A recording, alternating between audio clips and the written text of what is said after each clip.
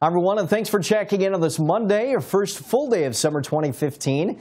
I'm meteorologist Todd Nelson, and as we take a look at the national coast-to-coast forecast on our first full week of summer, we're calling about or calling for some strong and severe storms today and over the next few days, mainly in the northern tier of the nation, as the uh, summer heat continues in the southern two-thirds of the nation, and especially in the southwest. And oftentimes in the uh, dead of summer, at least the middle part of the summer, you get a lot of thunderstorm activity in the northern periphery, uh, that uh, big dome of hot air that kind of sets up in the central U.S. So for today, we're going to be watching a vigorous area of low pressure moving into the upper Mississippi Valley. It does appear that it uh, will kick out some thunderstorm activity into the afternoon and evening hours after a morning line of thunderstorms have produced 82 mile an hour wind gusts in uh, Sioux Falls there. But again, maybe some tornadoes into the afternoon, large hail, and again, some damaging winds. And then that area of low pressure swinging a little farther east on Tuesday to encompass parts of the northeast and the Ohio Valley. And then another impulse of energy working into the high plains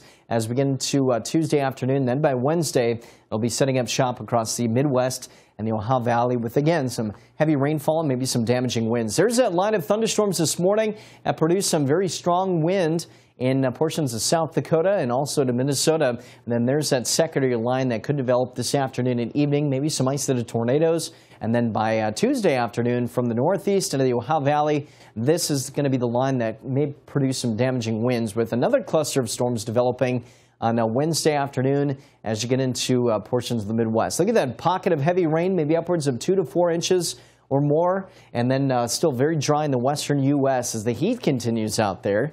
Uh, again, this is going to be with us through much of the next several days. 109 today in Phoenix, 91 in Denver. It'll be 90 in Chicago with heat continuing in New York and D.C. and in the south central U.S.